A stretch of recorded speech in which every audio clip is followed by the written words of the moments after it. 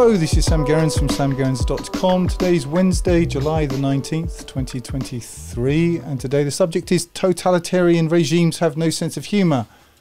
And uh, we're going to look again at a, an article and just pick it apart. I haven't looked at this article yet. Uh, it's hard enough reading them once. Uh, don't want to read them twice. But I have a, a basic idea what it's about. And it's today's victim, if you want to call it that, is from the Independent. Yes, Independent. That's what it's called itself. Anyway, here we go. Uncle Roger, comedian, has popular Chinese social media account shut down over video mocking Beijing. Beijing. Cancellation of London-based character comedian's account comes amid debate in China over future of stand-up. Here we are. Here's the comedian, and uh, I don't know if that's uh, on purpose. His microphone matches his shirt. I have to assume that it was. So what we're going to do is we're going to read this and uh, sort of pick it apart and see what the the propaganda quotient is because everything is propaganda and in this part of my presentation all I'm trying to do is just basically bring you up to speed with what any intelligent person in the Soviet Union understood that there's as I've said before there were two main newspapers one called Izvestia or Pravda was the first one like Pravda means truth, and Izvestia means news. And the joke was there's no truth in the news, and, there's no news in the truth. And you really do need to get to that point uh, to understand the propaganda that, that's being directed at you. And it's, uh, as I've said before, it's nothing to do with trying to wake people up. People won't wake up. Most, most, not only uh, can't, but they won't. They won't. They like propaganda, and you need propaganda to live under the kind of mm, existential pain which is modernity. You do need a, a, a soporific and uh, some sort of um, mm, something to uh, uh, alleviate the pain, and and part of that is is propaganda. It's, it's, religion. It's delusion, and most people like it, and that's all fine. So I'm not here for them. I'm just trying to show you how to approach this. See, for me, I have background in this. Um, so a bit like in the Matrix, I don't even see the ones and zeros anymore. I just look for the propaganda um, payload. And it's all about manipulating you. I mean, we're, we're currently living through the, the war in Ukraine um, because of Russia's illegal and unprovoked uh, attack on Ukraine. Nothing, of course, about NATO's illegal and unprovoked expansion over 30 years towards the borders of Russia. No, no, no, no, no, no. You're, you know, you're there suffering for Ukraine. In fact, if you live in the West, your economies are being collapsed, and all you've all you've got left is uh, this feeling of uh, quivering self righteousness that you're standing firm with Ukraine. Yes, standing with Nazis. Wonderful, isn't it?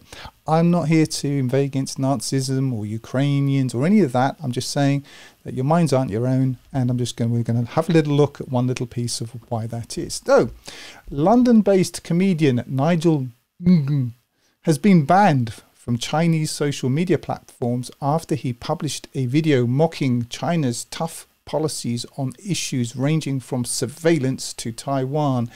Just so you, you know, I'm sure you've worked it out, but um, they're winding you up for another war when they're finished with this war, which is most wars are actually against you. The, interesting thing about wars is you can get much more done uh, in terms of social engineering during war because people will put up with a lot more um, oppression of themselves because if they feel there's an external threat. So once they once they're finished with the Ukrainian project, when they finish destroying Ukraine and uh, brought, mm, started the process of deindustrializing you lot, then they're going to move on to to Taiwan. And I'm not here to you know protect China or Russia. It's all the same nonsense as far as I'm concerned. I'm just saying that this is a chessboard, and you don't count. I don't count. None of us count. So why pretend you do? You don't, you see. But anyway, they're setting you up. They're sort of doing some uh, sort of background propaganda for Taiwan, which is going to be another another war, and that will be another justification for you to get hungrier and colder. But you'll be able to stand firm with Taiwan and uh, all the rest of it. My view, just for what it's worth, my view is that the the um, what they're calling the fair world order which people who for years understood that the the wealth uh, the World Economic Forum, the WEF, I call it the WTF, but the WEF and uh, George Soros and uh, whoever's the other, uh, Klaus Schwab and all these people, Bill Gates. These are evil, terrible people, and they are, and I'm sure they are. Uh, but that they were against this, and they could understand that, that this was evil and sounding the alarm. Paul Revere, you know, the British are coming. Um, but now they've embraced the, the fair world order uncritically and completely without really giving it any thought whatsoever. It's amazing, isn't it? But my view, for what it's worth, it's just one big chessboard. And the plan, in my view, could be wrong. Could be wrong. But as it looks to me, is to break you lot down. And the way the elites actually work is if they want to, they want to uh, amalgamate, if they want to combine something, they have a war first. That's what they do. Uh, the way you and I think is the way we're, we're educated in, in, in, what they laughingly call schools is we think A, B, C, D. You know, there's this sort of sequential event that has to happen. The the ruling elites still think you know sort of three dimensionally. I'm not saying they're all supermen or anything because they're not. But um, what they can't do themselves, they can hire in. They've got the, the resources to do that. Anyway, that's just my view. Anyway, we'll just uh, have a look. Yes, Taiwan. That was the point. They're going to. They're getting ready for another war. Uh, you can't finish the one you've started, but apparently you need another one.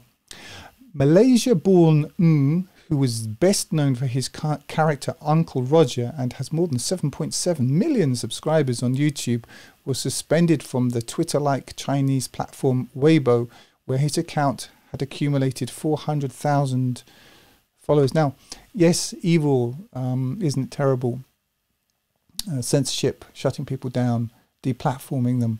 Hmm, who does that remind me of? Oh, it reminds me of the West. Yes, he does this all day long. Uh, but it does does it to people that you can agree that you don't like. But because this this guy's got a sort of Asiatic looking face, then whatever he's doing must be must be must be good, right? Um, but if your name is Alex Jones or David Icke or you know whoever it is, they're terrible conspiracy theorists. You can shut them down. I don't know if you've noticed, but since the West has become Marxist, which is it is, this is Marxism 2.0 that you're living through. Um, Marxism 1.0 could only work up to a certain point. Uh, this new type of Marxism is um, Frankfurt School Marxism, and it's based around you. It's based around your ego. It's based around um, your identity politics, how you feel about yourself. Because what they discovered is is that the uh, the working class get bored once they've once they've got, a, as I've said many times, a packet of Pringles and a plasma screen and a six pack of beer. They can care less about the workers of the world. So what they do is they've developed this new type of Marxism, which is sort of new and improved, sort of monosodium glutamate um, Marxism, which is uh, which uses women to destroy their families, uses uh, sodomites to you know spread their disease around the place. I mean psychological disease, um, pushing uh, deviancy upon your children. All of this, all of this is is essentially, if you're looking for the common denominator, it's a form of Marxism. Okay, all that to say, has no sense of humour. Can't have one. Sense of humour is actually a, a very potent weapon, but it, it doesn't have a sense of humour at all, and it deplatforms people all the time even Rowan Atkinson, I'm not a huge fan, although he's an excellent driver. If you've ever seen him drive, and he's an intelligent man, uh, definitely give him that. Uh, he's spoken out against this because he realizes that you know the bread on the butter on his bread is being being removed before his eyes. Uh, because if you can't mock things, he can't make a living. And what you'll notice about this, um, what I call libtardism, is it has no sense of humour whatsoever, none, zero. And uh, if you if you watch leftist comedians, um, they're just not funny because the I suppose the reason is is because the two things about that make humor work. Firstly, it has to be essentially true, and their philosophy is essentially a lie, so they they fall at that hurdle. And the second thing about humor, which makes it work, is that it has to wrong foot you somehow on on on a point of truth. Well, if you have no point of truth, then how can you be wrong footed? Uh, it, it can just, all it can do is sort of turn the volume up, appeal to some sort of um, righteous indignation predicated on its own philosophy. And that gets very tiring and boring and strained. And uh, you're almost uh, doing them a favor, I suppose, by clapping. Anyway, just on the point, there is a there is a channel called Comedy Unleashed, which is based in the UK, which has conservative, I know, conservative comedians.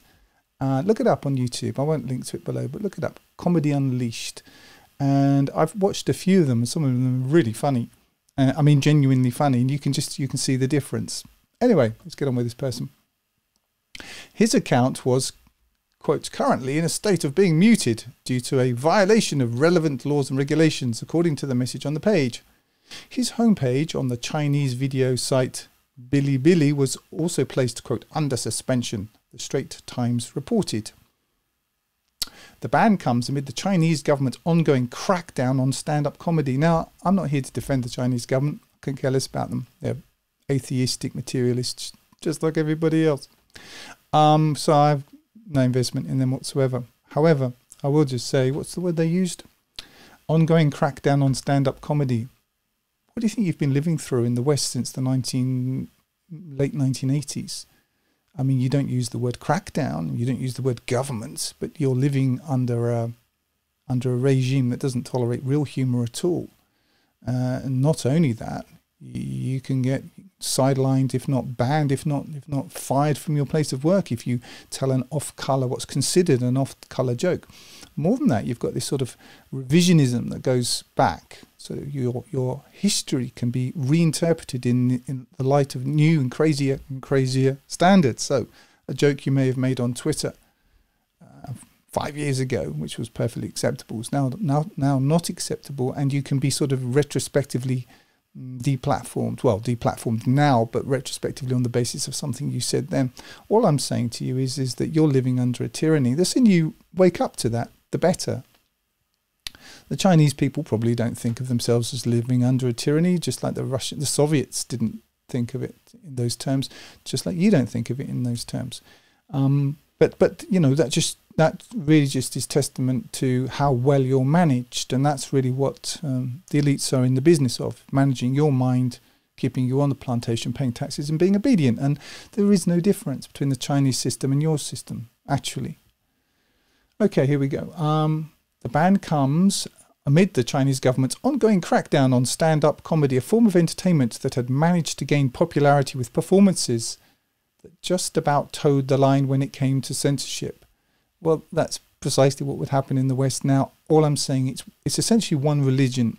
Okay, if you, you want to get into it more deeply, I highly recommend, as I have become a bit of a sort of, I suppose, a bit of a missionary for the work of uh, Jacques Ellul. If you look up uh, his book propaganda and go to the bottom of page 39, it'll summarize the, the four postulates that all these systems believe there is no difference between the Chinese uh, Communist Party and what you've got in the West. And anyway, I mean, they're setting up China as the big bogeyman, the big next terrible big bogeyman. Who created China? All these big Western companies, the same Western companies, the same Western companies that um, are today standing with Ukraine or promoting sodomy as the new Coca Pepsi lifestyle, or promoting, you know, the destruction of your culture, or promoting the um, sort of idiocy as education or whatever it is. And if you notice, none of them stand out. None none of they all basically work like a, like a school of fish. They all move in exactly the same same direction, just as if they were all controlled by the same people. Yeah, as Alex Jones would say, as a conspiracy theorist would say. Anyway, mm, last week posted a trailer of his new stand-up show on Twitter where he jokes about China's surveillance and asks the Chinese Communist Party not to make, quote, make him disappear. What, what do you think you're living under? I'm not here to shock you. All I'm doing, really, in this part of my presentation is pointing out the blindingly obvious. Um, but that seems to be, as Orwell would have said, a revolutionary act. Anyway, let's get on with see what more is left of this. In the video, Ng talks to a member of the audience who said they are from Ganzhou province in China. China, good country, good country. Ng responded. We have to say that now, correct? He asked before taking a jab at the Chinese government. I'll just sort of translate this into you know, across Central Asia into Europe. Um, Ukraine, Ukraine, democratic values and you know freedom and whatever nonsense else that they're telling you. You have to say that. Try standing up for. Try standing up for you know ex- trying to explain Russia's position. Whether you agree with it, you don't agree with it, it doesn't really matter. See how long you last in the West as a business or as an individual or whatever. There, what I'm trying to say is there's an orthodoxy. That orthodoxy is decided at the top. Your silly opinion has no relevance whatsoever. You either go along with your orthodoxy, just you know, like in the Salem witch hunts, or you know, Matthew the witch finder, and um, or or whatever it is. Um, but in the West, what your the difference is is your what they've discovered is is to allow you to feel like you have a choice is more efficient form of management of the idiots. You see, it's just how it works. A bit like uh, asking your 11 year old daughter if she'd like to clear up her room. Now, there's an apparent choice there, isn't there? We all know what the effect is going to be. That room is going to be cleared up. And you're asking her if she would like to is uh, just a sort of um, a social nicety, hiding the the actual fact.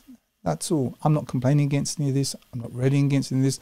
I'm just saying that this kind of propaganda, what it's here to do is to allow you to think that you don't live in a tyranny, but you do. You just been trained sufficiently not to notice it. Probably, probably. I mean, I understand that people watching this channel don't fall so much into that category, but but the point of this is to keep you feeling free. Um, really good film to watch, as I've mentioned before, is B- Brazil by Terry Gilliam, 1983, 84, something like that. Prophetic, prophetic film. They'll have you paying for your own interrogations, literally, probably having to borrow money. All the phone listening, all the phone listening, he continues, referring to accusations of surveillance through popular high tech firms like Huawei. This nephew got Huawei phone, they all listening. Um, could do with a bit of, you know, a bit of an upgrade on the grammar. But why do you think they gave you social media? I'm amazed people complaining about social media spying on you. What what did you think was the point of it? Know, it's it's not like it's for you. You're for it. Why isn't that obvious? All our phones tap into it. Long live President Xi, he said. Mm, then asked the audience if anyone was from Taiwan.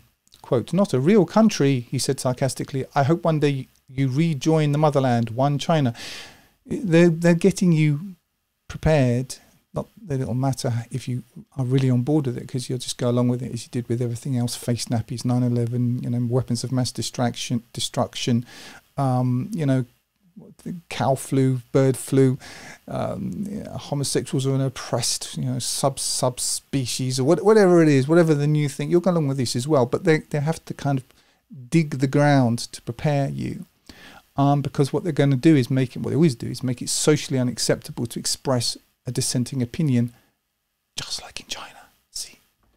Okay. Go write good report for. Oh no, we missed a bit.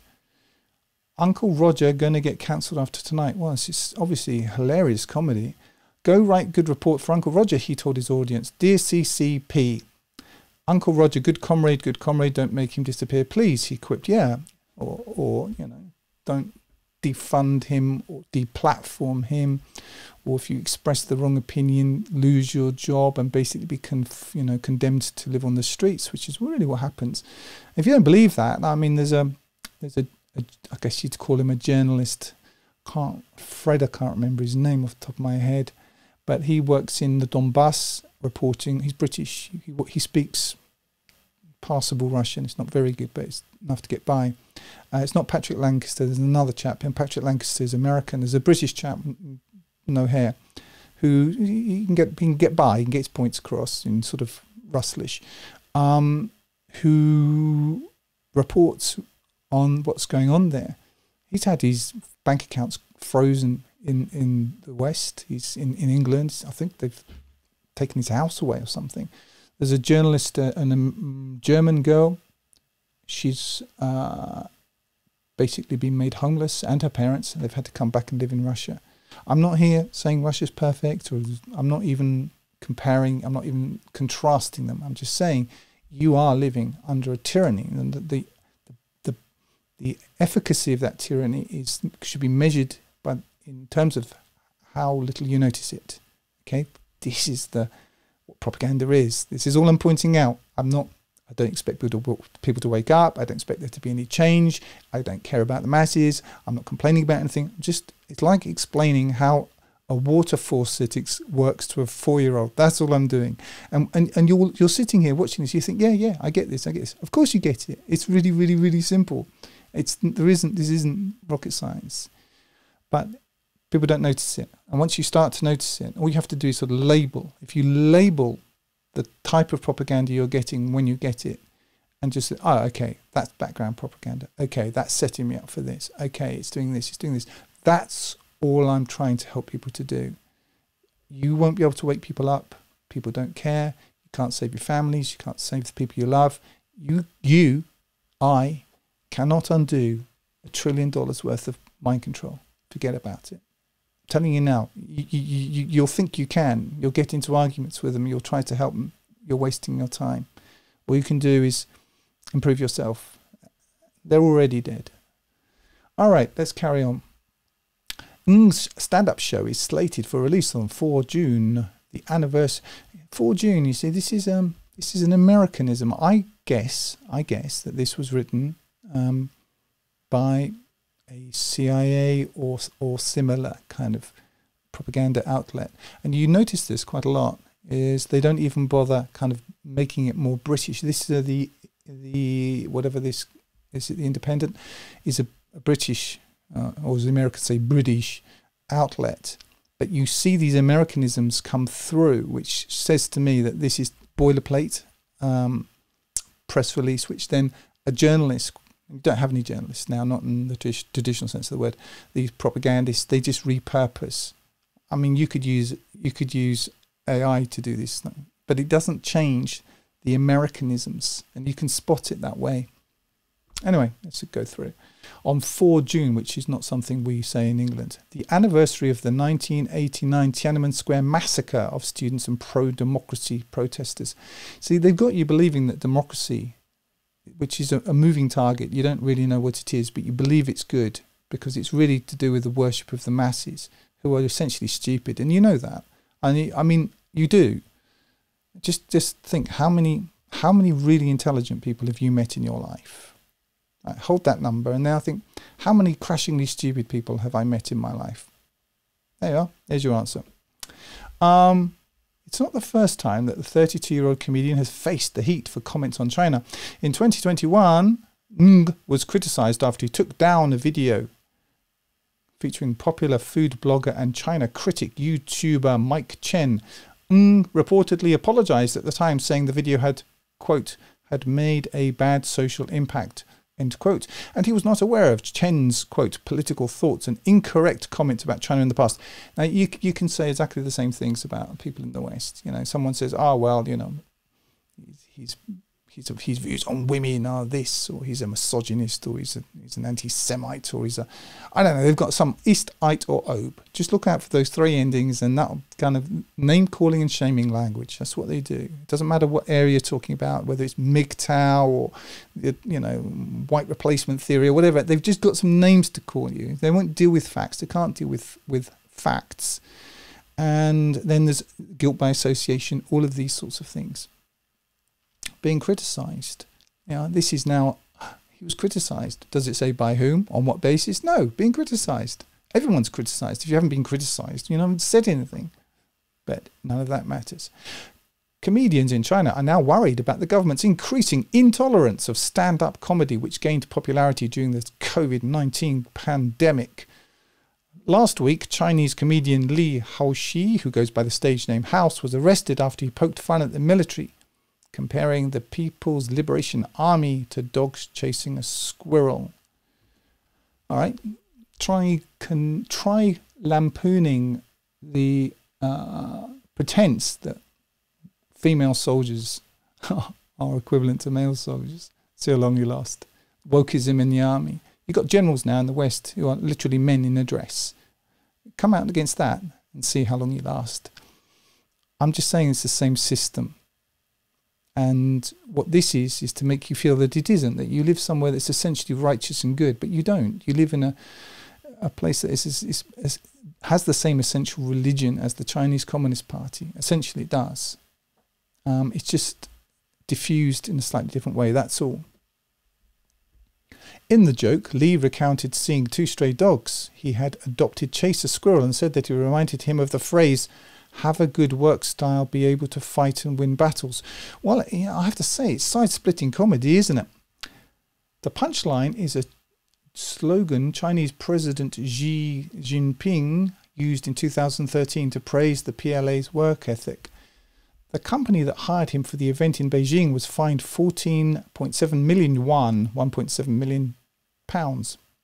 Quote, Stand up comedy has been the last bastion in which people can still enjoy entertaining commentary about public life. Yes, I agree. And just look how it's been shut down in the West.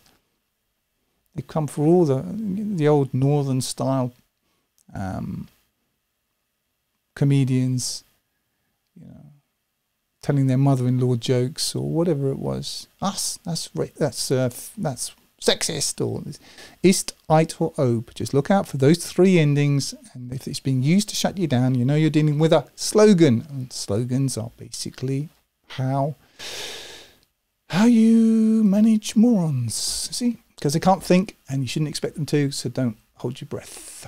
Stand up comedy has been the last bastion in which people can still enjoy entertaining commentary about public life. Beijing based independent political analyst Wu Qiang told Reuters.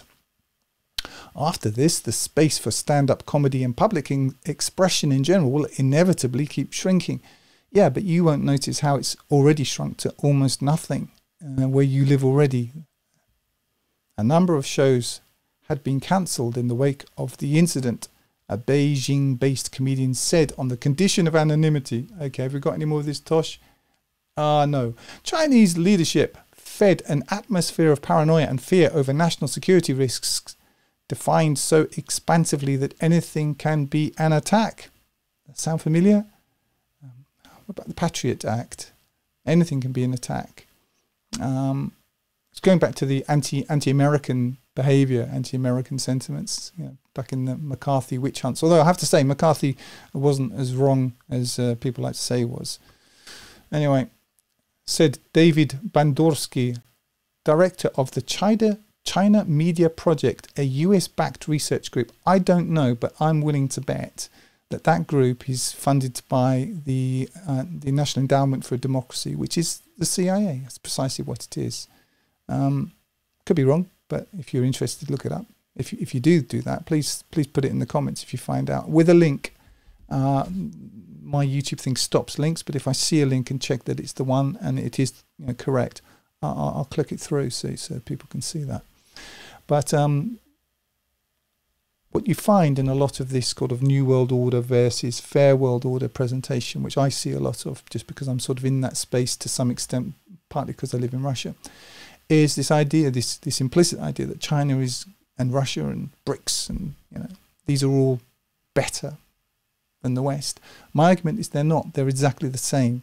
While they're the postulates of their religion are identical, and the difference between the West, this this this false dichotomy they've got going, is that uh, is is about as about as big as the differences between two minor strains within Catholicism.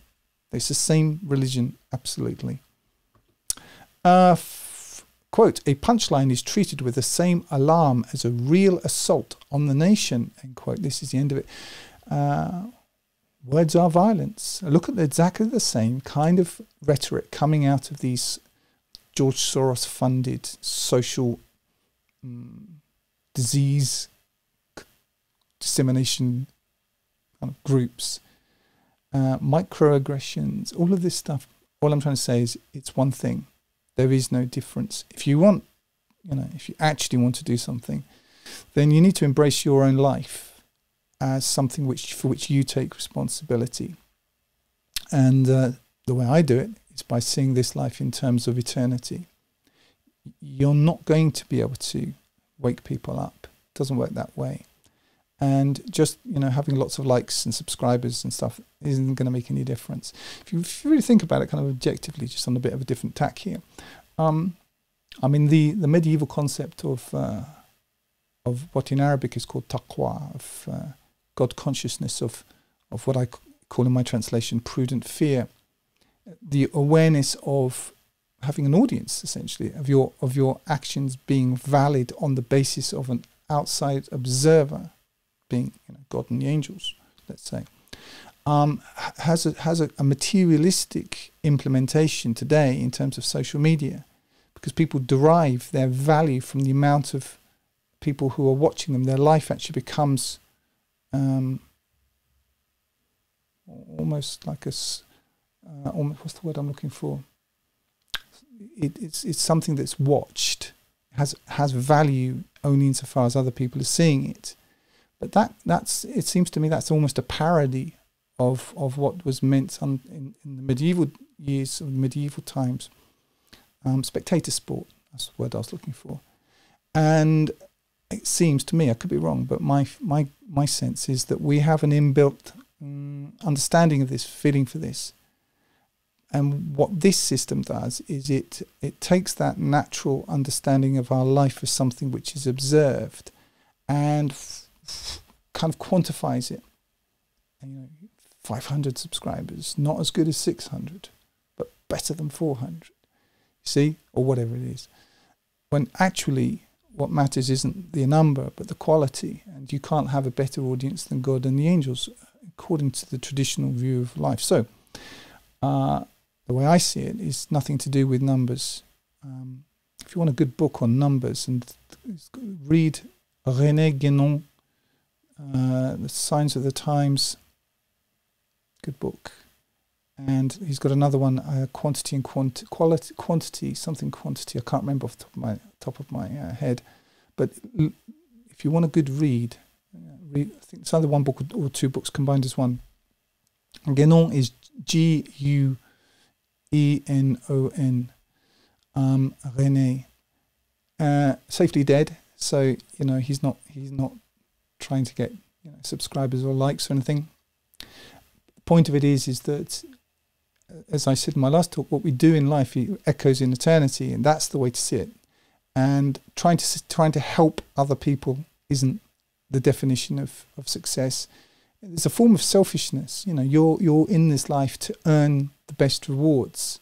It's a form of capitalism, and it's it's it's to do with. I mean, if you want to call it that way, um, it's to do with investment and gaining the best rewards. That's why I'm in it, and I'm not going to stay in what I'm doing right now. I'm just I've got you know a limited amount of things I want to say, and when I've said them, I'm going to stop because I'm interested in me and where I'm going on the day of judgment. But I'm not trying to hold on to it. You know, you you can get as much of it as you want to. This is the great thing about this. There's just so much space here.